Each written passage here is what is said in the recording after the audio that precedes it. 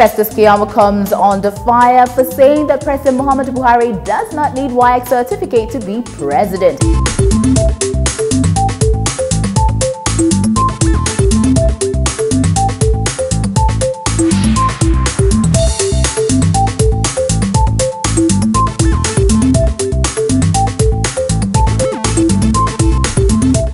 To have this conversation with me right here in the studio, I start with Dr. Tony Akabono. Welcome, sir. Thanks for having me. And we have Max Oga. Welcome as well. Thanks for having me. Let's start with Festus Keyamo. He says, according to the Constitution, that President Muhammad Buhari or anybody else does not need a WAEC certificate to run for any office, especially that of the presidency and governorship. In fact, according to him, if you have worked in the public service for a period of time, that should suffice. Starting with you, Max Oga, you are a lawyer, a legal practitioner. Is he correct? That's the position of the law. Hmm. school certificate or its equivalent. Then our constitution in one of its schedules defines what an equivalent of a school certificate means.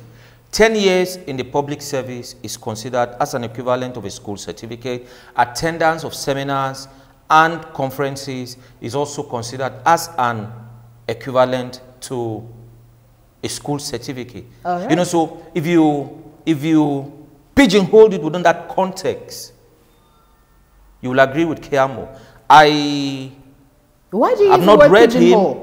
Why did you use the word no, no, pigeonhole? No, a lot of times, a lot of times we we we analyze things out of context, and whatever is not looked at within a given context will always be misconstrued. Uh, uh, Tony Akabono, let me hear your thoughts on this one. Well, I don't, uh, I'm not a lawyer from basic principle. I'm assuming that um, Festus Keyamo is citing 1999 Constitution as amended, mm -hmm. and he must be referencing Section 131, which sure. is very unambiguous on what the requirements to be eligible to be president of Nigeria. And one of the things that I've seen there is that he must um, possess um, the school certificate or its equivalent.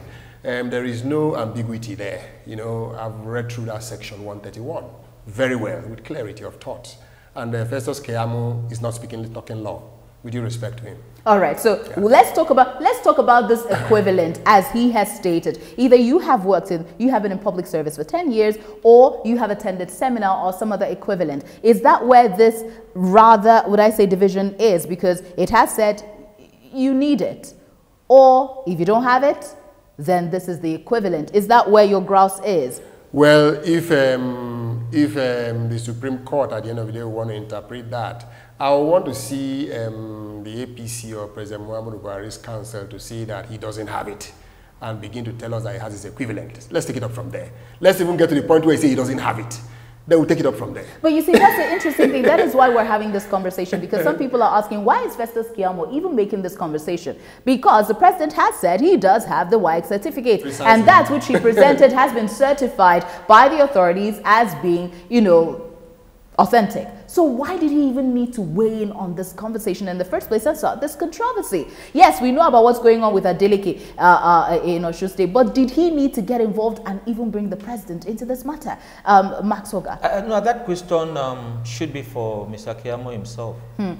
Anyways, we would like to say that we tried to reach out to Mr. Keyamo. We called him and he chose not to speak on the matter.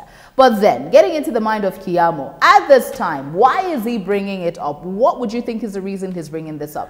I suspect that um, he's trying to distract Nigerians. Maybe he has realized that uh, the president actually does not have a certificate and is trying to look at the area of equivalent to try and distract us. The point is that Section 131, I repeat, says that you must have school certificate or its equivalent. Academic, there's no, there's no ambiguity there, all right? If Festus Keyamo is saying that um, civil service, let him come out straight and say the president does not have it. Then that means somebody's lying. Because mm. the president did say in the past that he has it and presented a document that will be certified, will be verified by the court. Mm. So who is somebody's lying? If the president says he has it, Keyamo say he doesn't need it. I mean, let's be very clear what we are. What of course, we know at this moment that Atiku Abubakar and the PDP has gone to the Election Petition Tribunal, and just a few days ago, they some respondents have been even talking about it, especially the APC. Is there a possibility, just humor me on this. Is there a possibility the reason Festus Keyamo has come out to make this comment via Twitter is because they see a possibility also or a circumstance in which the Election Petition Tribunal will begin to ask questions such as, does President Muhammad Buhari even qualify to be president when it comes to his WAEC certificate? Max. Let me, let me, let me address an issue that will help us uh, put a lot of um, the questions you may like to ask mm, behind please, us. Please. Look, the issue of um, possessing or not possessing a certificate is a pre-election matter. The issue of qualification to run, like some people are saying, I mean, a particular candidate is um, not Nigerian by birth. These are pre-election matter. You raise these issues before the election. But if there are doubts, you go to the Elections Petition Tribunal, which is no, no, where no, it has gotten to. Please, please, please. Just why don't you follow me? Okay. The Election Petition Tribunal is meant for resolving disputes arising from compliance with the Electoral Act, right, and conducting elections in accordance with laid down procedures, right? Qualification or non-qualification is what comes before an election, right? Mm -hmm. Taking it from the issue of being a Nigerian by birth, at the point someone picks up a nomination form or someone returns a nomination form to INEC, if you feel strongly that that person is not qualified to run by virtue of not being a citizen, by virtue of birth, you raise it at that point. May I now ask a question? Please. Why do you think the APC has brought it up at the elections petitions that, that is that is why I said let me put these things on the front burner so that we save ourselves a lot of trouble. That is why I'm asking. You, you, you understand? Look, look, look. I don't. I am too busy to get involved in discussions that take us to nowhere. Hmm. No, that's the truth of the matter. That's why I'm putting these things on the table so that we, we look at more serious things. Okay, so you are, also, are, so you you're saying that what APC has brought before the Election Petition Tribunal does not hold is, look, water. It, it, look, it, is, it does it is, not hold water. It is a no issue, mm -hmm. if you ask me. Interesting. It is a no issue, and you're going to get you're going to get my thoughts on on this, but not because of the tribunal. Okay. I'm going to share some legal, I mean, some legal thoughts on on this, not because because of the Please tribunal. go ahead. Now because I am aware that the APC, mm -hmm.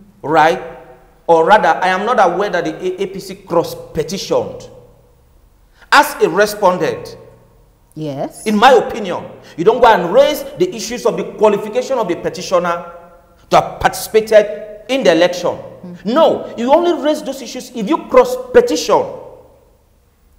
Mm -hmm. Right? So, having not cross petition, at least to the best of my knowledge, all you are expected to do is just to justify an exposition that you won an election. You don't go and raise issues at this point. Now, let, let, let my final word.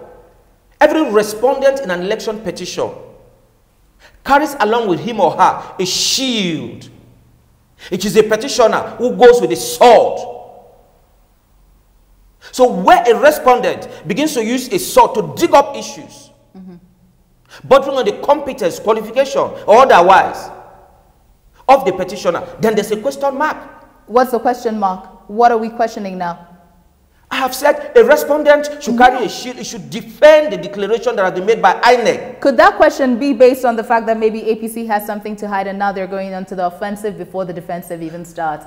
I'm just, uh, you said question mark and we, we simply extrapolated. Permit me to say that. Well, I mean, you have always shown your affiliations to the PDP. How does that play into the PDP's hands this time with the Election Petition Tribunal? Well, this is, uh, to me, is about um, Nigeria now, not about APC or PDP, right? I think the issue at stake with Nigerians are watching is um, to confirm whether the election was um, fraudulent, whether the election was credible or not. And um, if PDP has gone to court uh, to say that um, there were election malpractices, I think the onus is on APC to respond accordingly and not to distract Nigerians, you know, and just waste the time of the election petition. Like my learned friend here has said, you know, I think APC is just raising up non-issues. The point is that, did you rig the election? The results that were published, are they authentic or not? All right, this this debate continues. Honestly speaking, this debate continues.